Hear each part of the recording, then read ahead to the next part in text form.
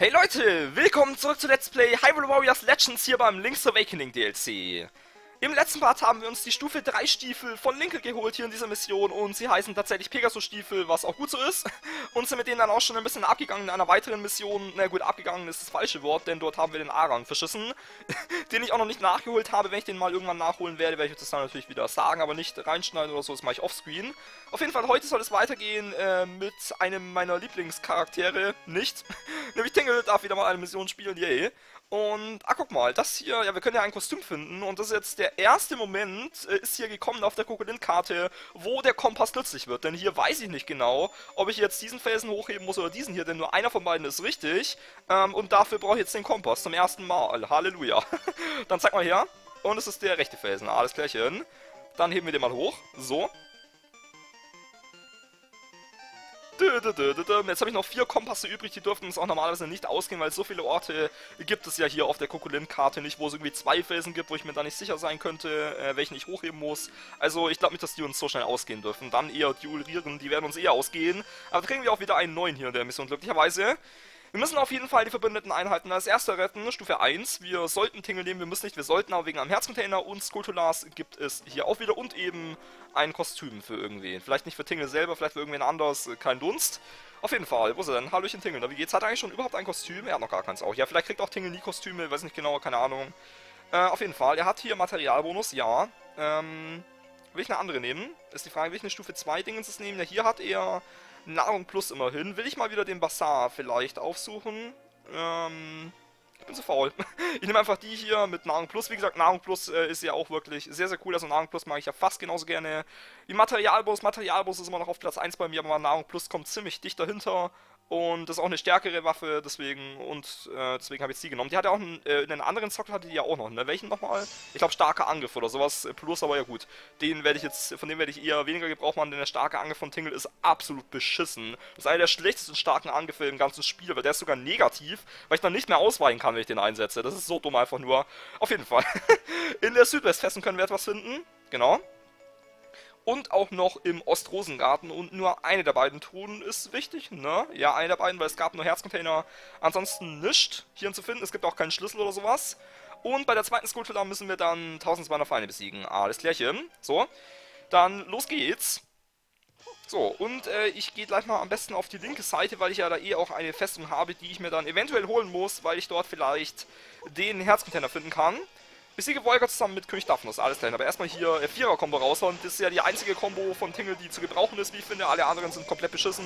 Einser, Zweier und Dreier-Kombo sind absoluter Müll, finde ich zumindest. Wie gesagt, jeder hat andere Meinungen. Und die Vierer-Kombo, die ist ganz in Ordnung, finde ich. Also die ist echt ganz cool, weil die hat eine mega Reichweite und eine mega Stärke. Aber gegen einzelne Gegner ist die halt jetzt auch nicht wirklich zu gebrauchen. Gegen viele Gegner, für Festungen ist die optimal. Also in Festungen kann Tingle ziemlich abgehen mit der Vierer-Kombo, ne? Aber gegen einzelne Gegner ist er total beschissen, finde ich. Und äh, ja, wie gesagt, ich mag Tingle nicht äh, ganz so gerne. Habe ich ja schon häufig genug erwähnt. Naja. So, und ja, nice. Erstmal eineinhalb, äh, nicht eineinhalb, aber einer Viertel Herzen Schaden genommen wegen dem Arsch hier, weil ich nicht mehr rechtzeitig ausweichen konnte. Ich mache offenbar den Gegnern auch nicht wirklich arg viel Schaden hier in der Mission, wie es scheint. Äh, denn ja, wir haben sehen können, ein Spezialangriff reicht beim Festungskommandanten nicht mal aus, obwohl er schon geschwächt war.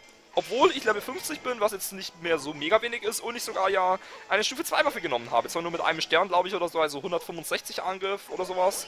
Ähm, aber dennoch, dass wir den Gegnern hier so wenig Schaden machen, das äh, gibt mir ein wenig zu bedenken. Und äh, ich weiß nicht ganz, das könnte glaube ich ein bisschen tricky werden hier. Und da ist erstmal der Run hier, na toll. Oh Gott, ich bin doch ausgewichen, Mann, ey.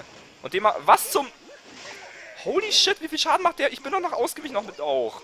Ja, die Zweierkombo macht mega viel Schaden von dem. Ich habe jetzt schon. Ich habe jetzt schon 1900 einfach mal. Nice, oder? Und ich kann darunter keinen Schaden machen. Okay, ja, jetzt geht's langsam los. Ja, die Mission hier, die ist jetzt ein bisschen sehr gestört, finde ich. Tatsächlich, weil hier mache ich den Gegnern gar keinen Schaden. Also bisher war die Kokolin-Karte echt mega sozial und die ganzen Missionen waren echt ziemlich einfach. Äh, aber die Mission hier, ähm, die hat es jetzt ziemlich, ziemlich in sich, finde ich. Denn wir können sehen, wie gesagt, ich mache den Gegnern null Schaden und ziehe mir aber extrem viel und ich muss mit Tingle spielen.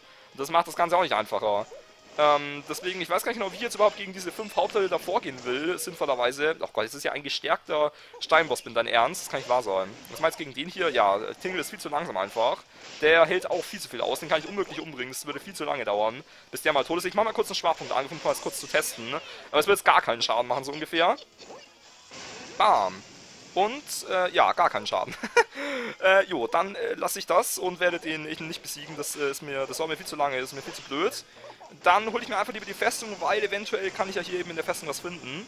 Aber wie gesagt, wie ich diese fünf Hauptleute hier besiegen will, vor allem Darunia, äh, weil Darunia hat ja mega viel ausgehalten. Ich habe keinen blassen Dunst. Und ja, nice. Ich war in der Luft und konnte nichts machen und wurde von seiner Schussattacke getroffen. Cool. Und schon 2600. Ja, hier können wir, glaube ich, den Arang uns völlig abschminken. Den muss ich dann nachholen mit einem anderen Charakter. Aber das kann ich hier mit Tingle, glaube ich, jetzt nicht schaffen. Denn wir können sehen, ich nehme so extrem viel Schaden bei den Gegnern. Und wie gesagt, ich mache ihnen absolut null Schaden hier mit Tingle. Obwohl er, wie gesagt, auf Stufe 50 ist, was jetzt nicht mehr so wenig ist. Also die meisten von euch, die die Kokolin-Karte gespielt haben, haben so schon viel höhere Level auf ihren ganzen Charakteren und auch viel bessere Waffen, wie Stufe 4 Waffen und sowas zum Beispiel. Und ich habe hier nur eine Stufe 2 Waffe mit einem Stern. Ja, aber dennoch, das ist absolut gar kein Schaden, den ich den Gegner machen kann. Und und ich will mal kurz gucken, gegen wen ich hier noch alles kämpfen muss. Also Darunia habe ich als Gegner und habe ich nochmal einen anderen? Ja, natürlich. Volga ist, natürlich, Volga ist der Feldmarschall, klar. Ist ja auch nur der schwierigste Gegner überhaupt im ganzen Spiel und Horkid ist auch mega nervig zu besiegen. Den muss ich auch noch killen. Ja, das, äh, das wird dann Spaß werden. Also, ja, wie gesagt, den Arang, äh, den können wir uns, glaube ich, hier wirklich völlig abschminken. Ich bin mir wirklich sehr sicher, dass wir hier den A-Rang nicht bekommen werden in der Mission, weil ich das einfach nicht hinkriegen werde. Das äh, kann ich mir, glaube ich, echt, das kann ich echt mir abschminken. Das werde ich nicht hinkriegen, ziemlich sicher. So. Aber mein Glück ist auf jeden Fall hier, dass der Feuerarer einfach schon einiges an Schaden genommen hat durch meine eigenen Truppen. Das ist ganz cool auf jeden Fall. Kann ich hier dann gegen den einfacher vorgehen und ihm schon, ihn relativ schnell besiegen, weil er eben schon mit einigen am Schaden hier in den Kampf reingegangen ist quasi, wenn man so will. Sag mal, hier war doch Magie gerade, oder? Irgendwo habe ich die schon eingesammelt? Keine Ahnung. Auf jeden Fall schwachender Angriff. Reicht es aus schon? Bam, 3000, okay. Gut. So, hätten wir das geschafft? War jetzt hier nicht eine Magieflasche? Ja genau, hier war doch eine, wusste ich doch. Her damit. So, denn auf jeden Fall werde ich dann, glaube ich, äh, bei Darunia, wenn ich gegen den kämpfen muss, da werde ich, glaube ich, auf jeden Fall von meiner Magie Gebrauch machen, also von meiner Feenmagie. Ähm, weil andernfalls dauert es viel zu lange. Aber Horror-Kid nimmt auch nicht... Ja, ich habe jetzt gehofft, dass es... Ach Mann, ey. Dass aus irgendwelchen Gründen Feuer gegen Horror-Kid sehr effektiv ist, weil Tingle hat ja das Feuerelement. Ähm, aber ja, also okay, aber offenbar nicht. Der nimmt genauso wenig Schaden. Wie auch schon der Hunja gerade eben. Äh, Problem ist halt eben, dass Horror-Kid auch wirklich ein sehr, sehr nerviger Gegner ist, weil seine Combo-Angriffe auch teilweise mega schnell rauskommen. Und den dann noch auszuweichen rechtzeitig ist auch nicht immer so einfach.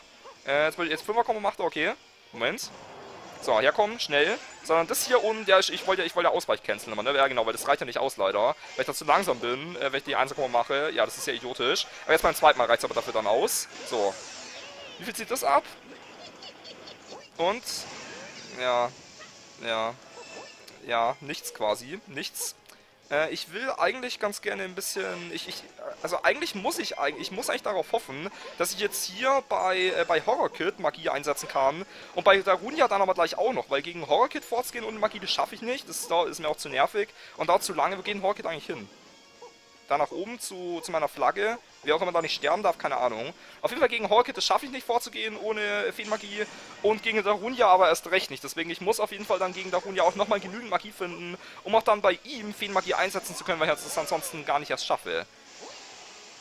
Heieieiei, ja, die Mission ist echt tricky. Die ist sehr tricky. Wie sieht es mit dem Schaden schon aus? Ja, also wie gesagt, Arang, ähm, darauf, also eigentlich soll ich jetzt gar nicht mehr darauf setzen, weil ich mich ansonsten hier überanstrenge dann quasi und dann enttäuscht bin. Wenn es nichts wird, dann es wird eh nichts, weil das kann, das kann ich knicken, ne? 800 Schaden noch, also noch zwei Herzen Schaden. Wenn ich nehme, dann war es schon. Und ich muss am Ende noch, wie gesagt, gegen Volga kämpfen.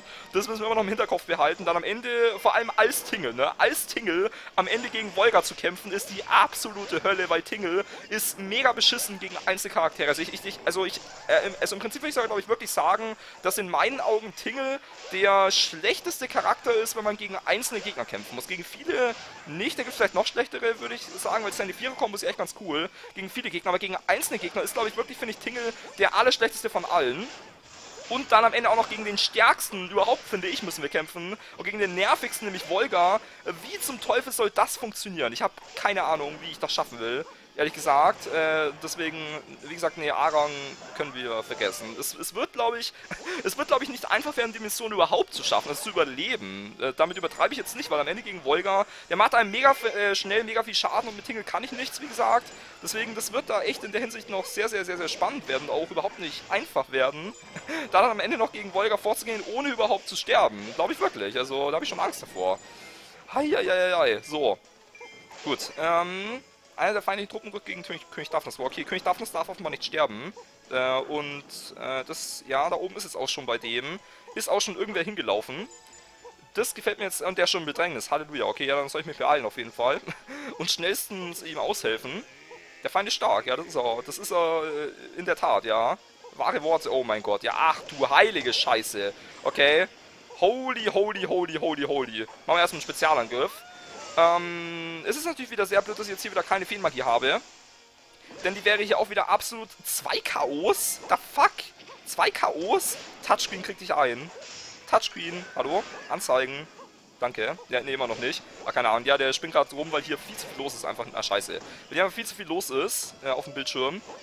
Ja, hier wäre jetzt eigentlich Magie echt cool. Ich gehe mal kurz hier weg, weil es, genau, hier oben sind auch noch Gräser. Genau, hier sind gleich in der Nähe Gräser. Jetzt bitte Spiel, danke. Okay. So, ich will am besten aber so einsetzen, dass ich nicht nur König Davos und die Kollegen hier treffe, sondern auch noch Darunia natürlich. Dass ich die dann gleich nicht zweimal einsetzen muss, sondern hier beide treffe. Sprich, so. Bam. Okay, ich habe jetzt gar nicht geguckt, wie viele Gegner das jetzt waren. Aber schon einige, glaube ich, ja 322. Das ist in Ordnung auf jeden Fall. So. Und die eine wurde auch zerschlagen. Jetzt, äh, irgendwie spinnt der Touchscreen jetzt wirklich völlig komplett rum. weil hier einfach viel, ja komm jetzt, weil hier einfach viel zu viel los ist auf dem, äh, nicht auf dem Touchscreen, sondern auf dem Topscreen. Und das war's übrigens. Ihr habt Aran, können wir knicken. Aber wie gesagt, ist mir auch völlig wurscht, weil äh, hier von Anfang an, das war schon, also nicht von Anfang an, aber nach den ersten paar, also nach der ersten Minute oder so, wo ich dann gegen Darunia, ja, Tingle ist auch gerade am Ausrasten, können wir äh, links unten sehen. Ach schön. Auf jeden Fall, wo ich dann gegen Darunia gekämpft habe, habe ich schon gemerkt, ja, hier in der Mission, Arang wird sehr schwierig werden und dann spätestens, wo ich bemerkt habe, dass ich noch gegen Horrorkid kämpfen muss und dass der feindliche Feldmarschall Volga ist, da war mir dann klar, nee, das können wir völlig vergessen. Ich spiele es auch gar nicht mehr, ich stelle mich jetzt gar nicht mehr so sehr an. Hier in der Mission, weil Arang, wie gesagt, können wir eh knicken und ich hole dann die Mission einfach nach mit, mit Link und dem Master Schwert, weil der packt es auf jeden Fall hier. Das dürfte ein leichtes für ihn sein, hier eine Ahnung zu bekommen. Ist ja auch nicht schlimm, denn ich kann ja das Ganze einfach mit Link noch nachholen. Ich, ich kriege jetzt mega viel Schaden, ich weiß. Aber ist mir jetzt wie gesagt auch ziemlich egal. Auf jeden Fall, ich kann ja einfach die Mission mit Link äh, nachholen mit dem Master Schwert. Ist kein Problem, denn es ist ja nicht so, dass Tingle hier für den Arang etwas bekommen kann. Er kann nur einen Herzcontainer bekommen. Und den habe ich ja schon gefunden. Äh, habe ich doch, ne? Ja, habe ich, ja genau, habe ich schon, passt alles. habe ich schon mitgenommen, genau, war ja da unten in der Festung, richtig. Und dementsprechend, ich kann einfach den Arang mit, äh, mit Link auch nachholen, das ist kein Problem. So, Jetzt erstmal Skultula. Wo ist denn die? Ähm, ich gehe mal kurz hier in die Mitte. Und schau mal, ob ich sie hier irgendwo finden kann. Vielleicht jetzt bei dem Gang hier gleich oder wie. Aber hier ist, glaube ich, ist hier die Skultula? Kann die hier überhaupt auftauchen? Ich weiß nicht genau. Äh, ich gehe jetzt mal nach oben. In der Festung hier vielleicht. Äh, ja, ich komme näher. Ich glaube hier irgendwo wahrscheinlich, oder? Hier in der Ecke. Ja, okay, hier klebt sie an der Wand. Okay, gut. So. Ähm, ja, eigentlich, warte mal, ich will mal kurz gucken, wer noch der andere Typ wieder ist. Es ist auch einfach ein Feuer-Aralfos wieder. Äh, das ist auch ein Feuer-Aralfos, ja. Ich meine, die Feenmagie wirkt zwar natürlich jetzt gerade da bei der Runja. Weswegen ist es vielleicht klüger wäre, jetzt gegen ihn zu kämpfen, während die noch wirkt. Ähm, aber eigentlich will ich jetzt sogar ganz gerne zuerst gegen den anderen Typen kämpfen. Wenn ich halt jetzt Darunia besiege, dann muss ich halt wieder auf die rechte Seite zurück und dann wieder auf die linke Seite zurück. Und währenddessen ist dann die Feenmagie auch schon wieder abgeklungen. Und dann müsste sie eher ein zweites Mal einsetzen, um noch gegen, äh, gegen Volga noch einigermaßen Chancen zu haben. Deswegen gehe ich jetzt einfach gleich zuerst auf die rechte Seite und besiege zuerst den Feuer Aralfors, äh, weil ich mir dann zumindest noch minimal Weg vielleicht spare. Ja, auch nicht wirklich viel Weg. Ja, keine Ahnung, ich weiß genau. Ich gehe jetzt einfach zuerst hier und das ist eigentlich ziemlich egal, warum ich das mache, ob ich zuerst zu Darunia gehe.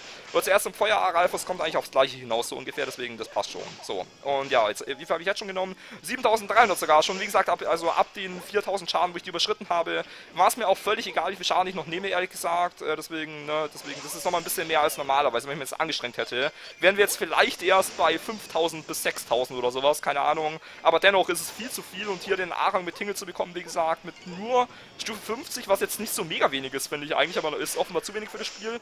Und auch mit der schlechten Waffe, das muss man natürlich sagen, die Waffe ist sehr schlecht von Tingle, klar. Äh, damit ist es offenbar hier nicht wirklich gut möglich, in der Mission den A-Rang zu kriegen, außer ich würde jetzt irgendwie den Item-Stärkungstrank benutzen natürlich und ständig mit Power-Up-Bogen durch die Gegend latschen und alle kaputt schießen. Das wäre natürlich auch noch eine Option, aber das ist ja auch äh, ein bisschen blöd irgendwie. Das haben wir schon bei der Wii U häufig genug gesehen. Das muss jetzt auch nicht hier beim 3DS wieder so ausarten. Äh, vielleicht später, äh, später bei den späteren DLCs, wenn die dann doch noch ähnlich schwierig werden, wie halt auch die späteren DLCs von der Wii U-Variante, sprich der Twilight Princess DLC und der Majora's Mask DLC, wenn dann hier die späteren, also sprich der Phantom Hourglass und Spirit Tracks DLC und der Link Between Worlds DLC, wenn die auch noch solche Ausmaße annehmen werden, werde ich vielleicht auch hier bei Hyrule Warriors Legends häufiger zum Item-Stärkungskrank greifen müssen. Bisher aber ja noch nicht wirklich, bisher ist es ja noch wirklich alles in Ordnung. Und die Mission hier kann ich ja ganz einfach mit Link nachholen, deswegen das ist auch kein Problem. Also ich muss ihn auch nicht benutzen, deswegen das passt alles. Und übrigens, mein Handler nervt ja hier in der Mission auch noch. Wo ist denn der eigentlich? Rechts unten ist wahrscheinlich ein Tentakel, würde ich mal sagen. Oder vielleicht auch beide, keine Ahnung. Auf jeden Fall, mein Handler nervt auch noch ein bombardiertes Schlachtfeld. Äh, Hauptquartier nicht, aber wir haben auch gar kein Hauptquartier, fällt mir gerade auf.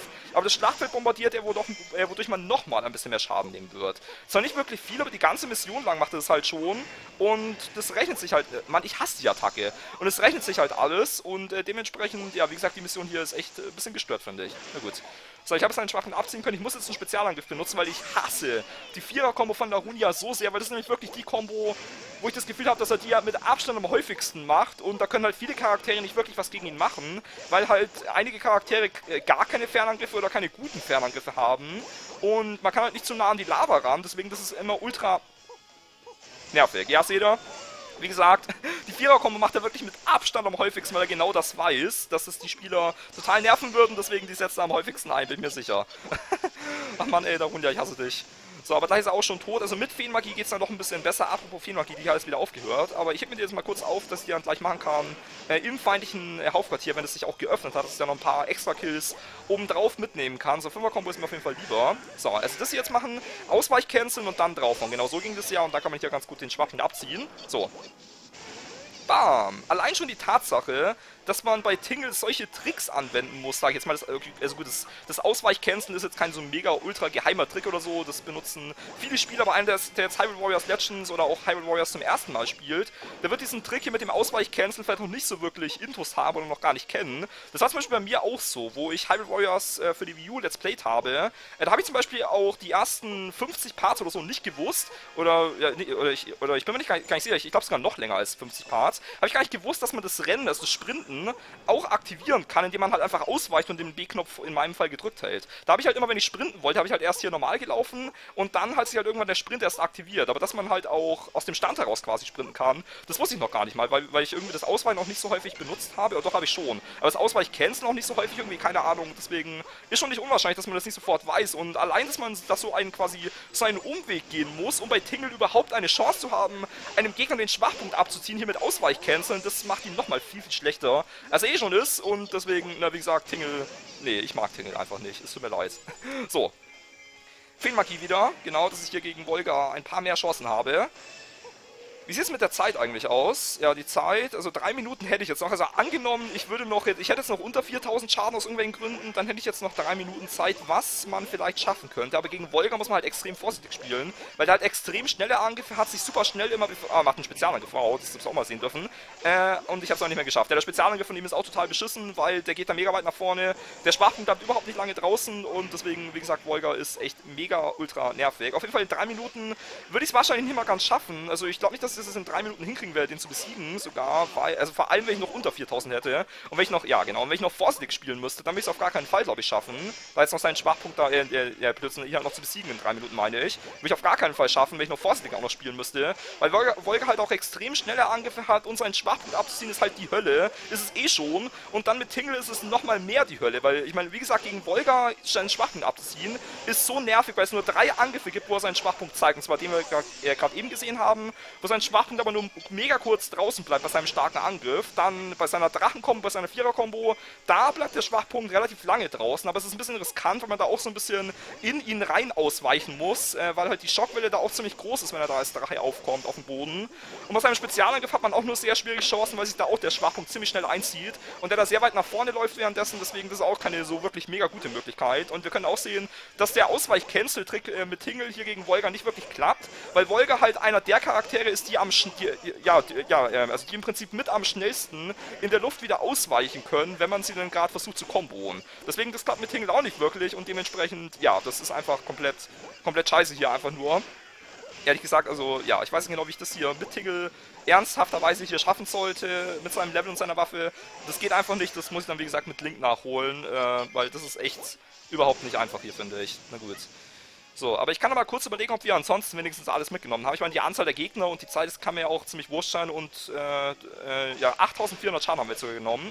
Und übrigens natürlich, hier schaffe ich es jetzt schon in unter 3 Minuten, oder also halt in unter 15 Minuten noch insgesamt. Aber wie gesagt, wenn ich halt jetzt noch vorsichtig spielen müsste, dass ich eben nicht jetzt noch im Kampf gegen Volga so mega viel äh, auf die Fresse bekomme, dann würde ich es vielleicht nicht mehr in 3 Minuten rechtzeitig schaffen. Keine Ahnung. Oder halt dann insgesamt unter 15 Minuten. Aber vielleicht ist ja eh hier wieder 20 Minuten kann auch sein. Es sind ja meistens 20 Minuten in Abenteuerschlachten auf dem normalen 3DS zumindest. Auf dem New nicht, aber auf dem normalen eben schon. Keine Ahnung, weiß nicht genau. Ja, das klappt hier nicht zum Ausweich canceln, weil er einfach zu schnell ist, der gute Volga. Ja, das ist echt blöd. Einfach nur blöd. so, Spezialangriff. Yay! Und er ist tot. So, genau, ich wollte gerade eben noch sagen, dass ich nochmal überlegen wollte, ob wir alles mitgenommen haben. Äh, jetzt habe ich natürlich ihn erst besiegt und dann überlege ich es mir, aber es passt glaube ich schon alles. Den Herzcontainer haben wir mitgenommen.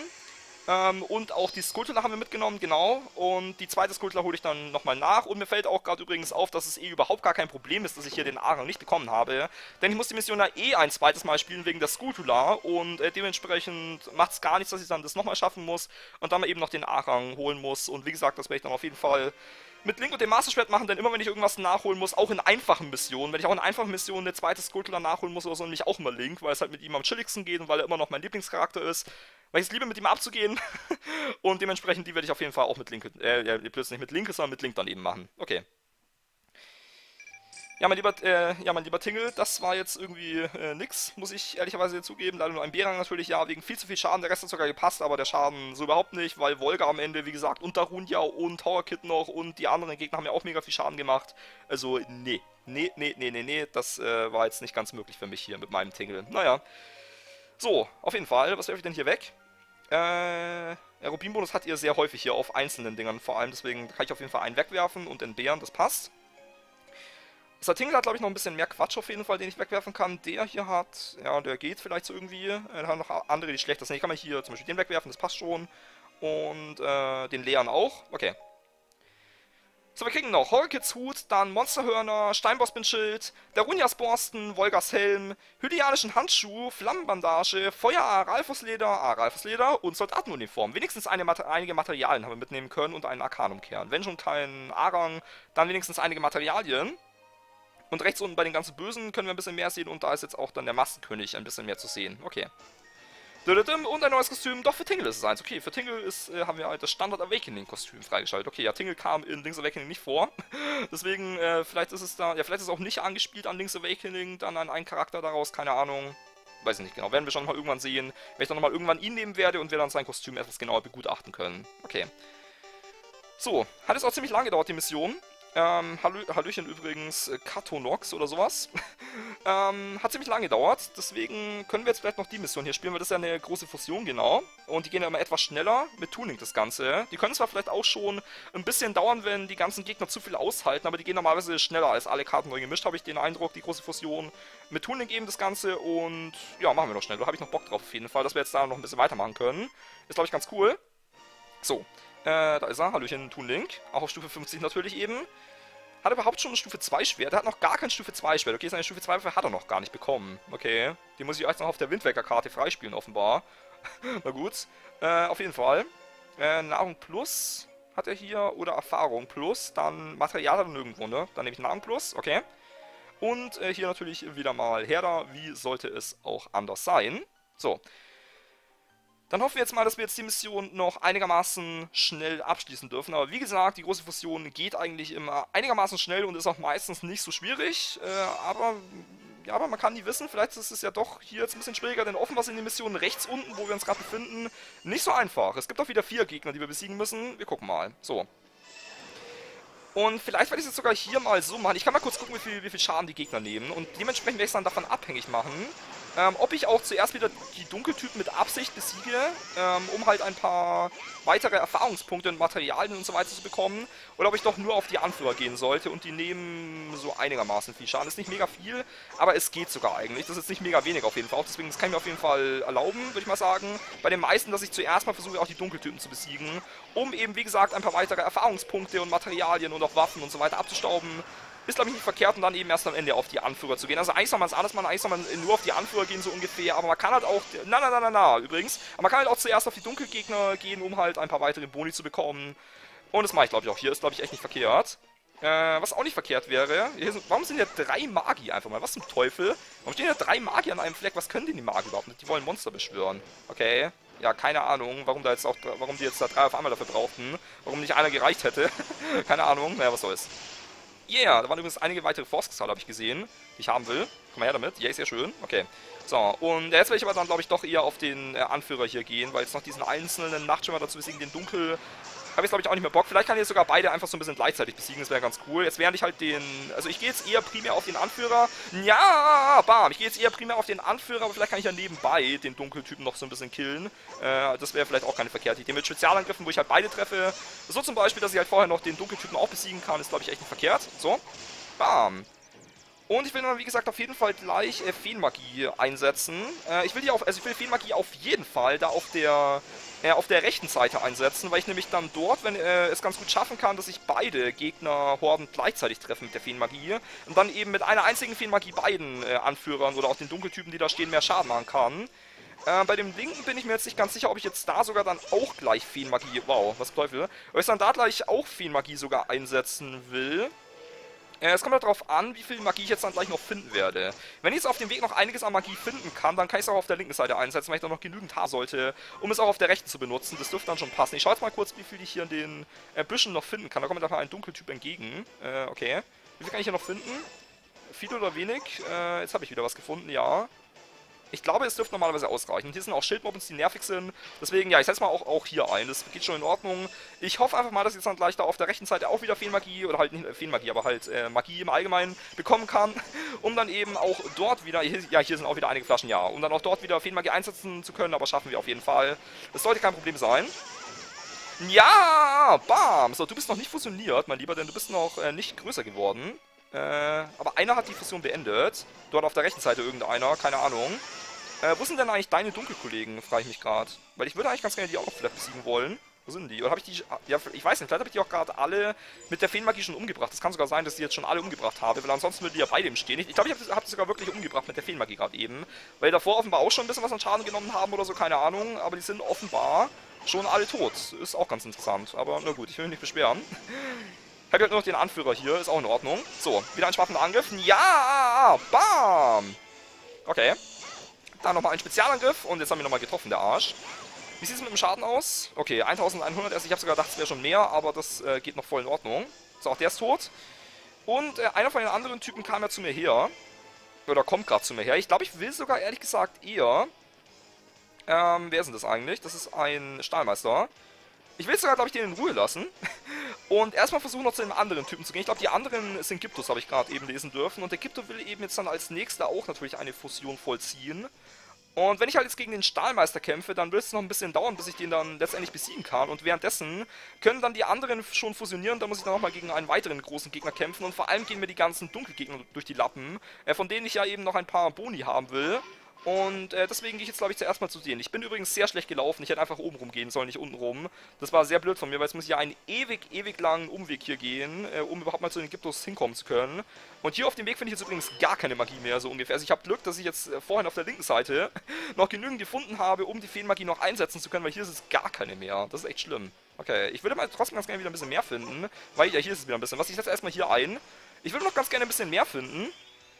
Weil ich nämlich ganz gerne dann natürlich dort auf der linken Seite oder halt links unten bei dem anderen Typen, also bei dem Stahlmeister, der schon fusioniert ist, weil ich bei dem natürlich dann auch ganz gerne logischerweise die Feenmagie einsetzen wollen würde, um einfacher gegen ihn vorgehen zu können. Denn so wird er bestimmt einiges aushalten, glaube ich jetzt mal. Er macht einen Angriff übrigens.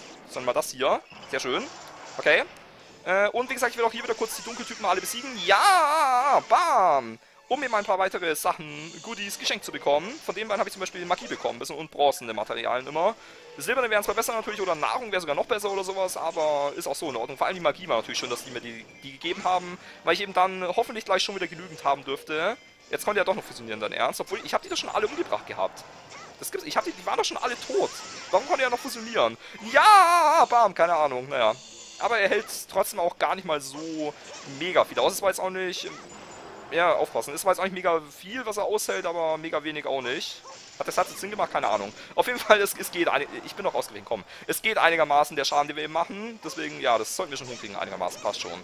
So, und ich habe eben wieder genügend Feenmagie, wie gesagt, oder, äh, oder, halt genügend Magie, um Feenmagie einsetzen zu können, die ich dann gleich da links unten bei dem Stahlmesser benutzen kann, was mir ganz recht ist. Ja, bam!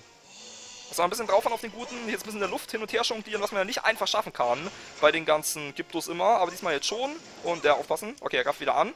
Mit seinem Spezialangriff kann man gerne machen. Kann ich ihn hier schön verprügeln. So. Dann mal das hier.